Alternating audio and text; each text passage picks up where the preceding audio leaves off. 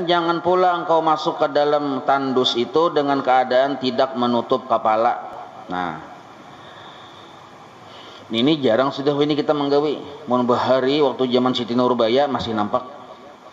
Zaman Datu Maringgi orang bala hendak masuk ke wis itu baku piyah kah paling kada kopiah kuboy kah bapak atau bandokah ya kalau itu di antara manfaatnya kada panggaringan atau jangan juga tidak berkasut tidak memakai alas kaki aja kita. Nah ini sama juga kita jarang kita laksanakan jangan sampai kada bacapal nah ada alas kakinya. Jadi bertutup kepala balas kaki. Dan baca olehmu ketika hendak masuk ke dalam tandus itu akan doa. Jadi masih di luar lah posisinya nih nah. Posisi masih di luar hendak masuk membaca bismillah. A'udzubillah minar rijsin najis. Al khabisil mukhbis. Asyaitonir rajim. Itu yang panjangnya. Yang paling handap bang. Yang paling handap. Bismillah. A'udzubillah handap bang lagi aja. Nah a'udzubillah karena tuh timingnya a'udzubillah di situ kalau kita membaca bismillah bujur juga. Cuma di situ kita tertimingnya lebih kepada minta perlindungan lawan Allah taala. Jadi kalau kita menyebut auzubillah sudah tersambat di situ Allahnya. Jadi sekurang-kurangnya auzubillah ngalih yang kadang bisa bahasa Arab ya nah ya Allah ulun minta lindungi pian. Nah, bahasa kita Cuma sekali sama mustawa barang seumur hidup suah membaca nang kayak ini nah. Jadi hendak masuk hendak masuk wisi tating aja juga dulu pulang. Kan ada hafal Bang ya Allah. ada hafal. Pas di tating. Nah, Bismillah, a'udzubillah minar rijsin najis al khabisil mukhbis asyaitonir rajim. Kalau yang populernya nih itu a'udzu minal a'udzu bika minal khubusi wal khaba'is. Itu yang yang populer. Nah, ini yang terpanjang pada yang populer. Artinya dengan nama Allah Ta'ala aku berlindung. Aku berlindung dengan Allah Ta'ala daripada kekotoran najis yang keji, yang jahat, lagi suka menyuruh orang lain membuat kejahatan, yaitu syaitan yang terkutuk.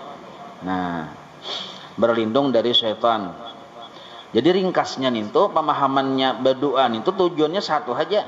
Substansinya di situ nah, intisarinya berlindung dengan Allah dari setan itu aja. Jadi kalimatnya minimal a'udzubillah. Dan ketika engkau keluar dari wisi, hendaklah engkau baca gufranaka. Gufranaka itu paling handap sudah. Mun dipanjangi alhamdulillahilladzi azhaba anni ma yu'dhini wa abqa alayya ma yanfa'uni nah itu nyaman aja baris saja sudah.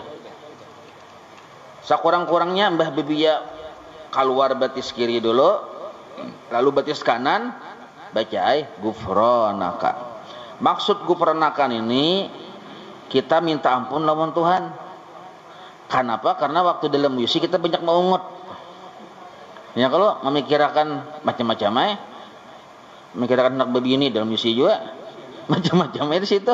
Nah banyak yang dipikirkan, kadang memikirkan kekuasaan Allah Taala tuh waktu di WC.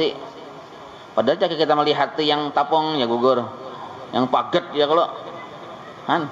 Padahal kalau sudah diasah tuh, kawan mengapit timbul paget ya. Apabila kita masah ya kalau, kan memikirkan tuh luar biasa benar Allah Taala tuh maulahkan.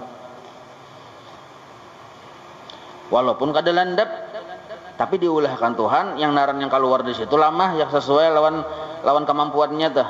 Coba pangcakannya yang keluar itu wasi ayo. Sedangkan yang mengapit itu kada landap nah jadi pas ya kalau keluar lawannya mengapit pas. Artinya ya Allah berikan keampunan kepadaku.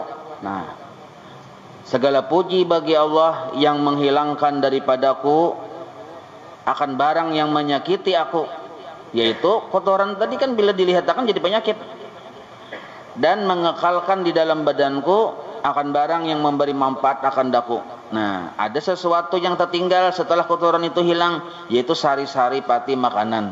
Itu kada tak umpat terbuang, yang terbuang itu kotorannya. Nah, itu. Jadi inti sarinya dua di situlah. Pertama, kita minta ampun lawan Tuhan karena kita di dalam wisi tadi banyak mengungut. Yang kedua, kita berterima kasih lawan Tuhan. Dihilangkan penyakit dari di parut ini nah. Nah itu. Jadi mun kada bisa yang panjang nih yang handap aja kayak apa bunyi yang handap? Gufronaka itu yang yang mutabaah lawan nabinya. Mun kada ingat lawan itu? Astagfirullah gin jadi aja juga. Astagfirullah alhamdulillah japian nah ya tuh Napa masalah mengingatkan gufronaka tuh kada ingat? Napa tadi bacaannya leh aja asa gup gup gup gitu aja. Nah astagfirullah aja kita. Yang populernya tuh alhamdulillah. Nah yang panjangnya kayak tadi. Yang penting kita tahu intisarinya itu yang mana gitu nah.